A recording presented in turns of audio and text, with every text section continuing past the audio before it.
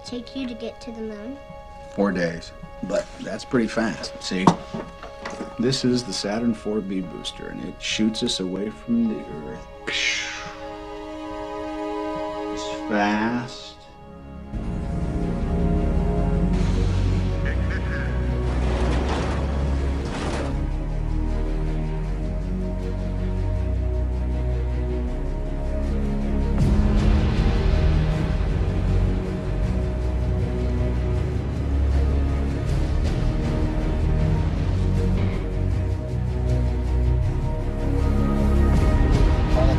Flight controllers.